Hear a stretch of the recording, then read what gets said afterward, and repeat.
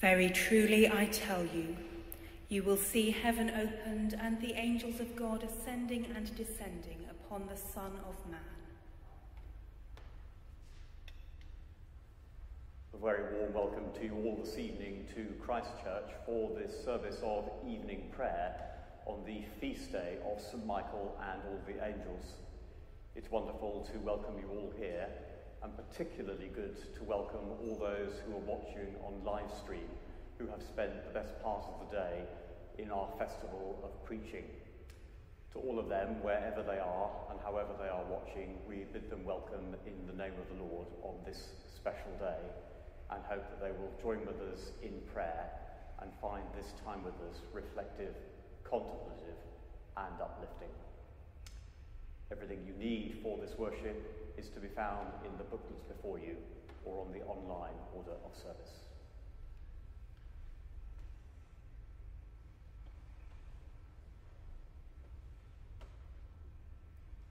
O God, make, o God, make speed to save us.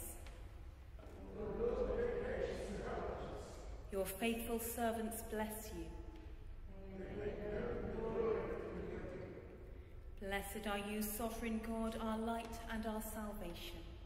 To you be glory and praise forever.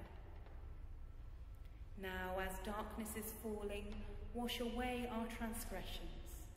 Cleanse us by your refining fire, and make us temples of your Holy Spirit. By the light of Christ, dispel the darkness of our hearts and make us ready to enter your kingdom where songs of praise forever sound. Blessed be God, Father, Son, and Holy Spirit. Please do sit down.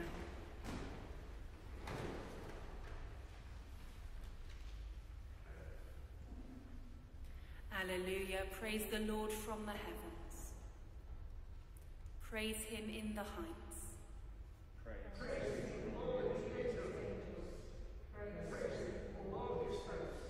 Praise him, sun and moon. Praise him, all you stars of light.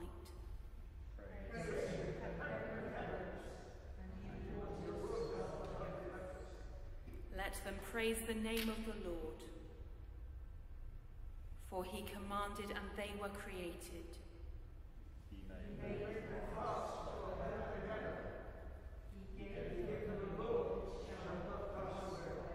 Praise the Lord from the earth you sea monsters and all deeps.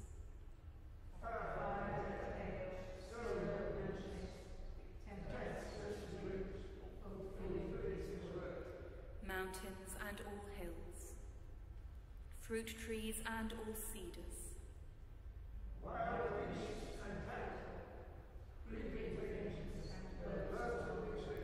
Kings of the earth and all peoples princes and all rulers of the world.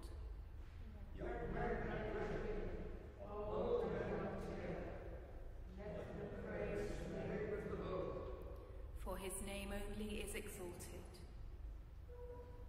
His splendour above earth and heaven.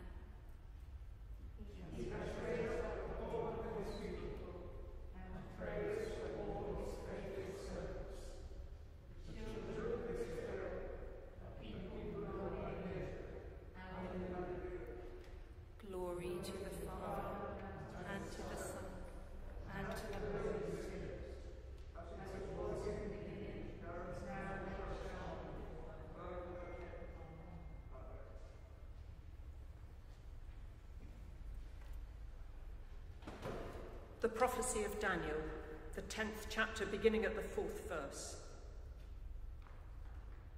On the 24th day of the first month, as I was standing on the bank of the great river, that is the Tigris, I looked up and saw a man clothed in linen, with a belt of gold from Uphaz round his waist.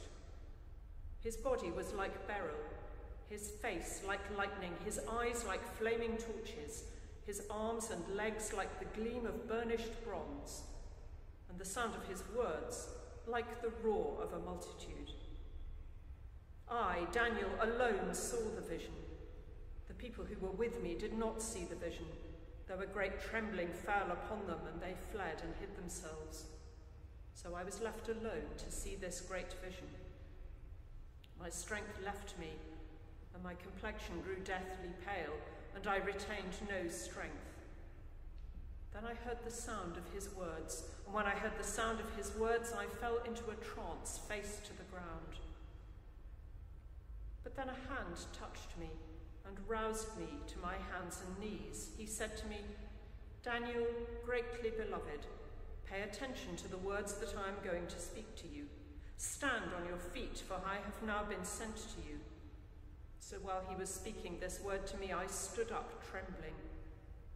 He said to me, Do not fear, Daniel, for from the first day that you set your mind to gain understanding and to humble yourself before your God, your words have been heard, and I have come because of your words. But the prince of the kingdom of Persia opposed me for 21 days. So Michael, one of the chief princes, came to help me, and I have left him there with the prince of the kingdom of Persia, and have come to help you understand what is to happen to your people at the end of days. For there is a further vision for those days. While he was speaking these words to me, I turned my face towards the ground and was speechless.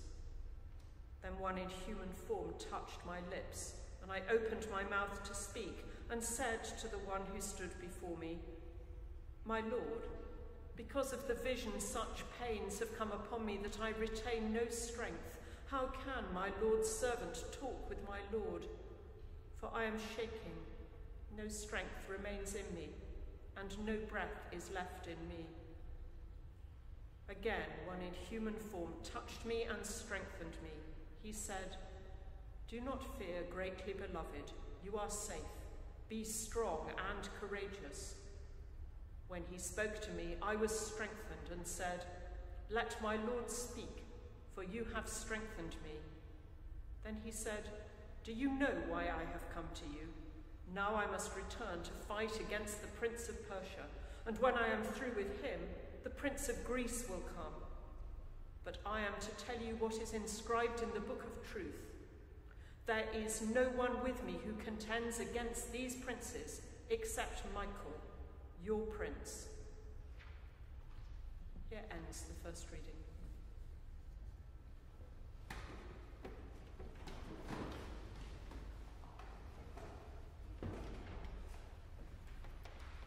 We have come before the throne of God to share in the inheritance of the saints in God. We have come before God's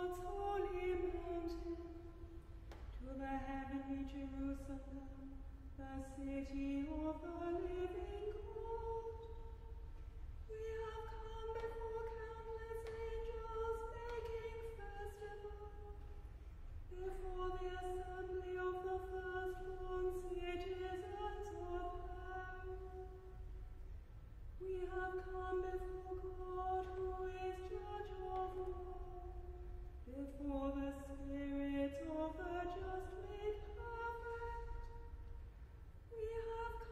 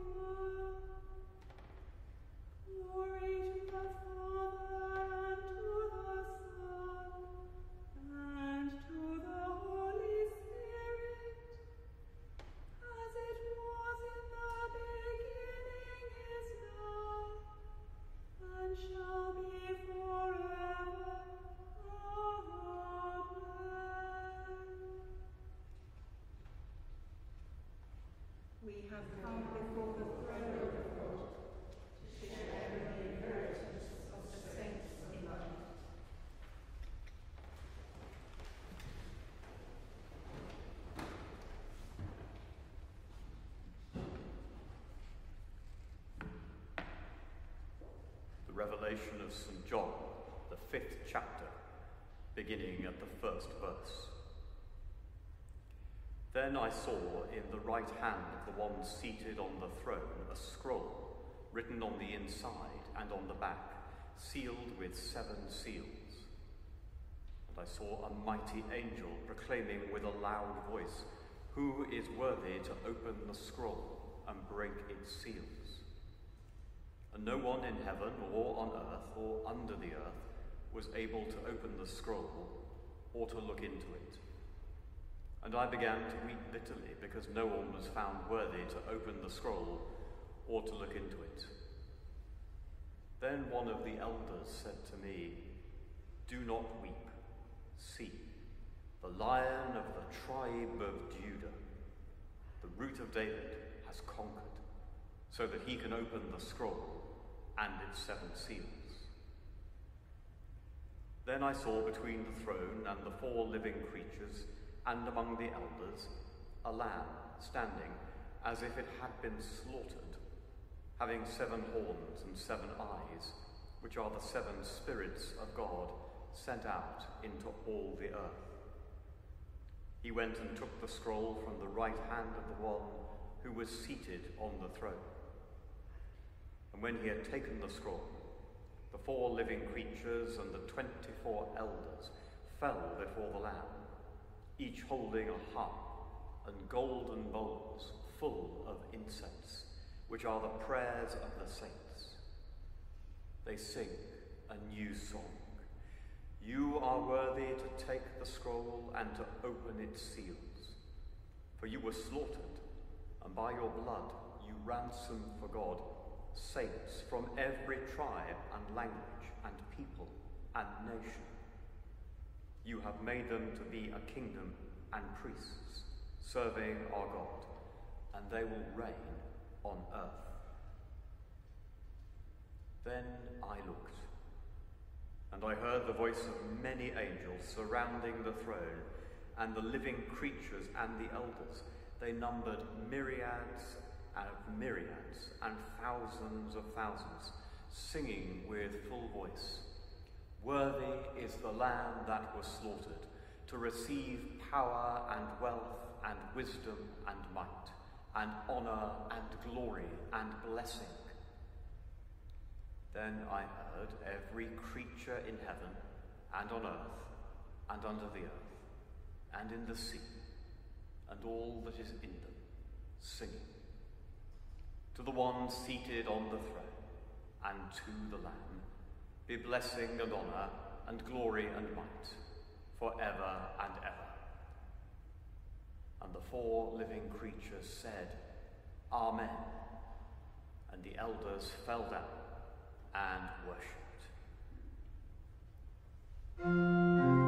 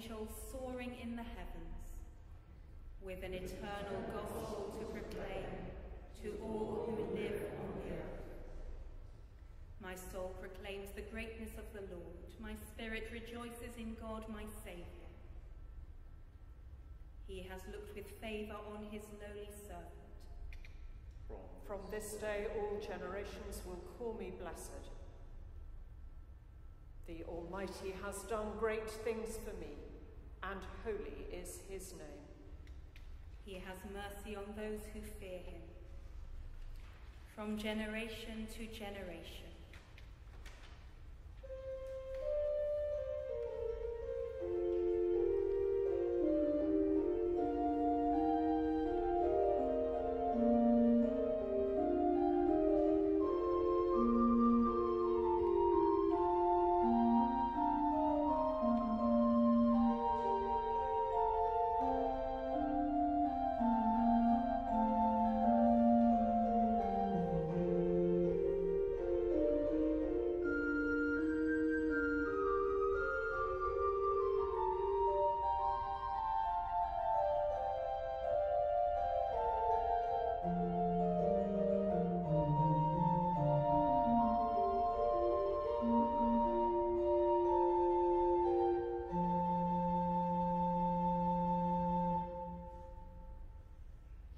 Shown strength with his arm, and has scattered the proud in their conceit.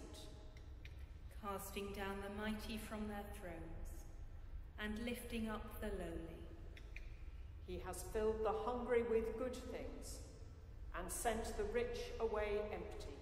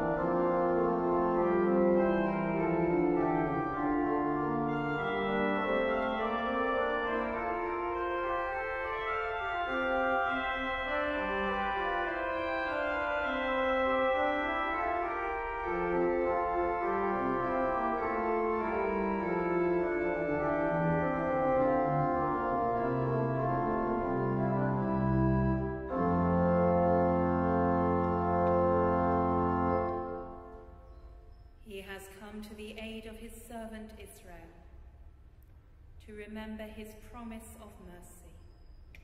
The promise made to our ancestors, to Abraham and his children forever.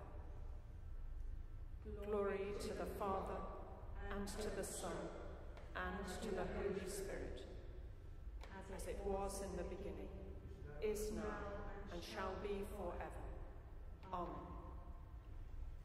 Then I saw an angel soaring in the heavens, with an eternal gospel to proclaim to all who live on the earth.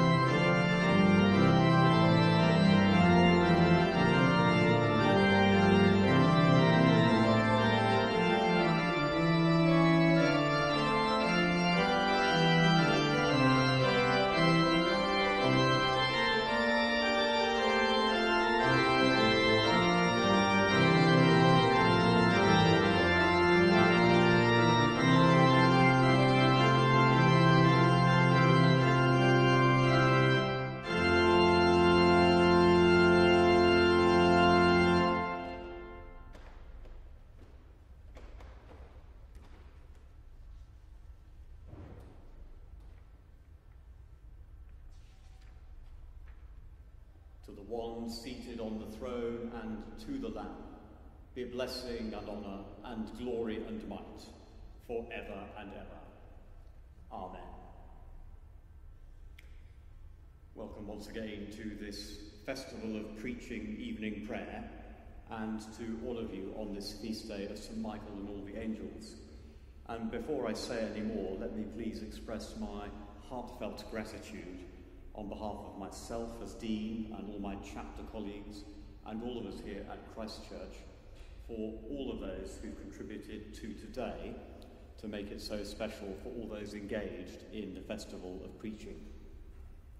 There are many to single out, and I particularly want to thank Christine Smith for her organisation and for all her colleagues, to the various sponsors we've had, and of course to all our contributors as well, and to all here who've worked so hard to enable this service this evening to be live streamed. I believe in angels, and like many clergy, I have spent a good deal of time sitting with people who are preparing to die. It is unfailingly a moving experience. It's both profound and a privilege.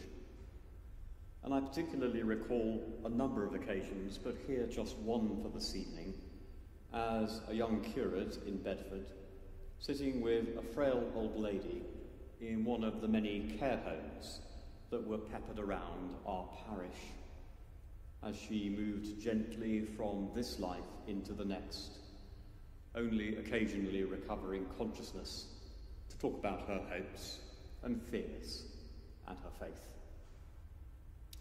One day she told me a story about how she had personally met an angel. The year was 1970, 50 years ago. Enoch Powell had just made his famous Rivers of Blood speech 18 months earlier. Bedford was quite fertile territory for Powell's concerns. It was a town that had welcomed many immigrants from Asia, Africa, the Caribbean, and the Far East in the post war era to work in the hospitals and elsewhere. But it was a rather conservative, sleepy town Tensions were very apparent and trouble was brewing. My friend, who was probably sympathetic to Enoch Powell's message but unsure, told me how she had gone down to the town hall one evening in winter to attend a meeting for residents who were concerned about the growing number of immigrants. It had been an uneasy few hours, impassioned speeches, a lot of angst, and a lot of things I guess people today would regret having said. When it ended, she stepped outside, only to discover the town covered in a thick blanket of fog, the like of which we don't really see today anymore, what you'd call a real pea souper, courtesy of the River Ouse, Bedford's flat, low-lying, when the mist rises from the river, it just sits there. She made her way back to her little Morris Minor, and as she was unlocking the car door, a large man appeared from behind and gripped her tightly to himself. She was afraid. She did not know how, but she had caught just enough of a glimpse of him to know that he was black weighed probably 15, 16, 17 stone, and was much bigger than her at 6'2 or 6'3. He held her from behind so tightly that she could barely breathe. She couldn't scream either, and she couldn't see anybody because of the fog. Yet she found herself feeling unusually composed and then, for what seemed like an age when her breath was being squeezed out, but can only have been a few seconds, she realized the man who was grasping her was crying, weeping. She struggled for breath, but found herself asking him what was wrong. He replied through sobs in broken English that he was hopelessly lost. He had just arrived from Carriacou, a small island in the south of the Caribbean, and had never seen fog or mist like this. He was afraid. His grip relaxed, and slightly to her amazement, she found herself driving him across town in her Morris Minor where she dropped him off. And when they got to the address, he turned to her and said that he had prayed to God that night that he would send an angel to guide him to his family living on the other side of town, miles from the rail station, and that God had answered his prayer and sent him this little old lady and a Morris Minor. After he got out of the car, the woman broke down in tears and went home. She told me the story because she remembered the thing about the angel. She said he had prayed for an angel to guide him. But as she reflected on her life years later, she knew she was no angel. Rather, he was the angel.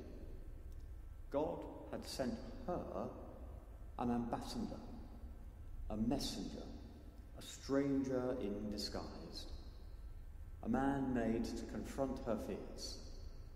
And when she realized the stranger she was being taught to fear needed help and welcome, she had, as Abraham had done in the Old Testament, entertained angels.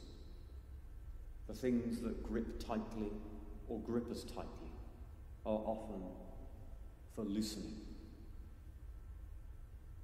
Today, the church remembers St. Michael and all the angels. He's an interesting character, St. Michael.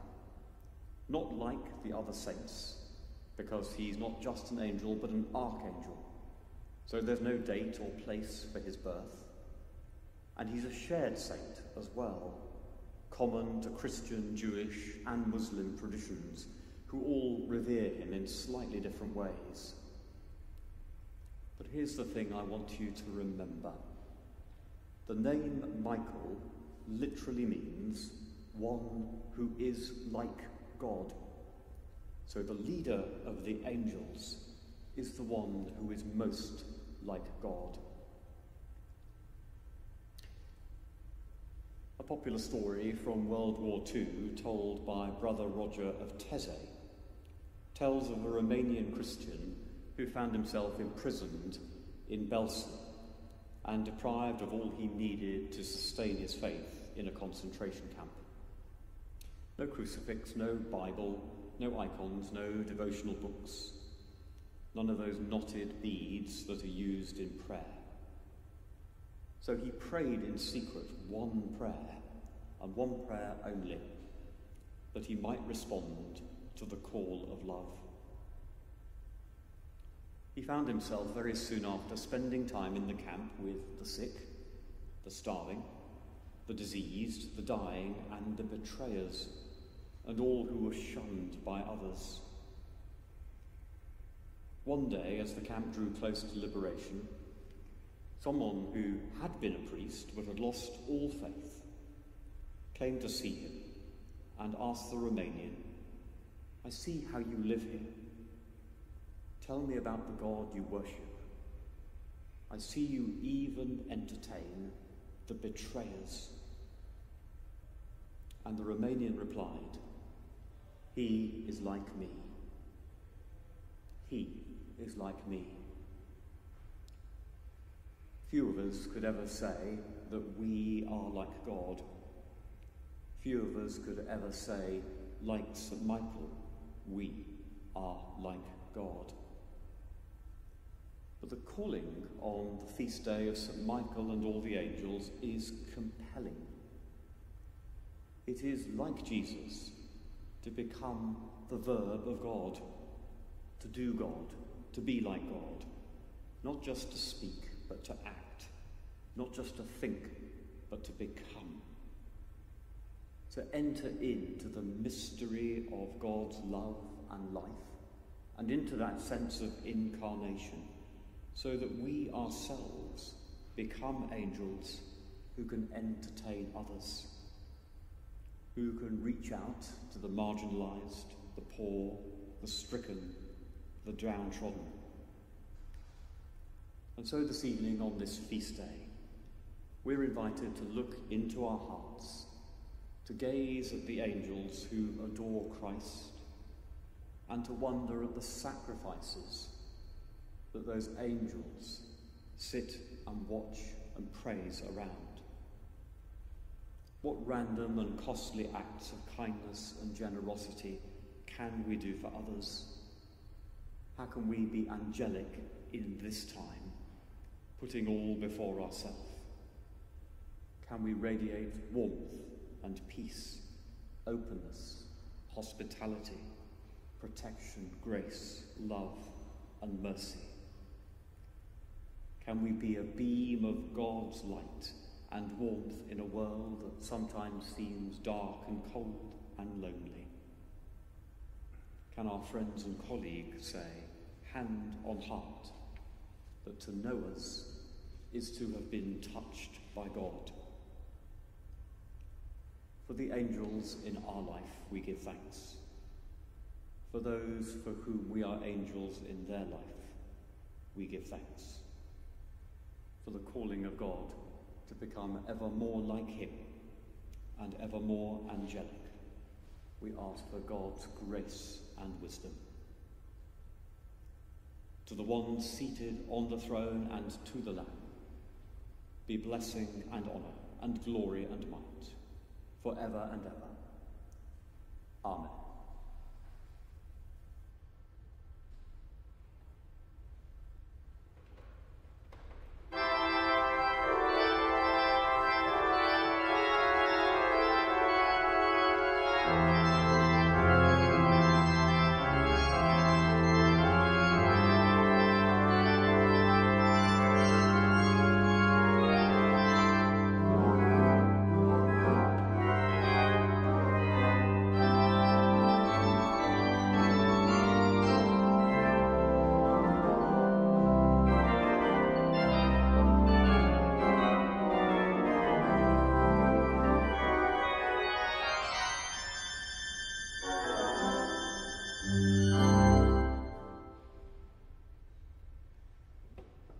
Let us pray.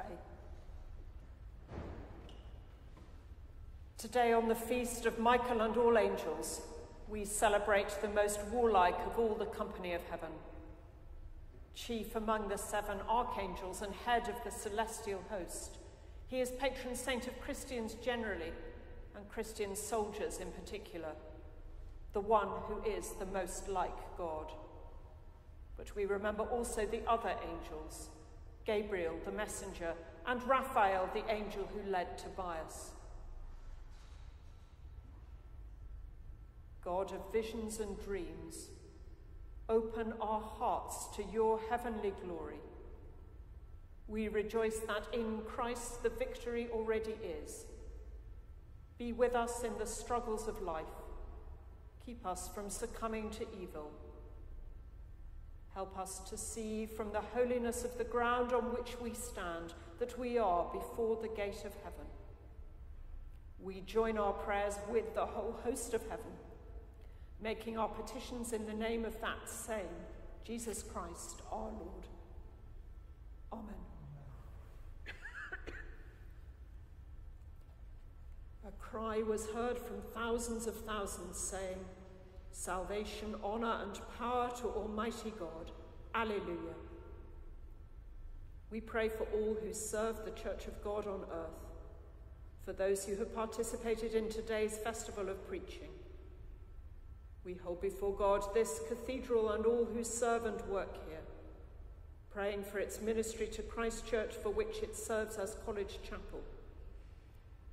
We pray for students already in, co in college especially those in quarantine, for those preparing to come up to Oxford for the first time. And we remember residents in this city anxious about the effect of an influx of students on levels of the virus locally. God of messengers and heralds, open the hearts of all to your words of healing and peace. We pray for those who seek to interpret the world in the light of your good news, who challenge with prophetic voice. We pray for all who lead nations, for local councils and community groups, for the councils of the church, for all who engage with the struggle for justice and the common good, for all working to find a vaccine and cure for the virus. We offer these prayers in the name of your Son, our Saviour, Jesus Christ. Amen. In a moment of quiet, we offer our own prayers to Almighty God, praying for all whom we carry on our hearts and minds. In the silence of this holy place, let us pray to the Father.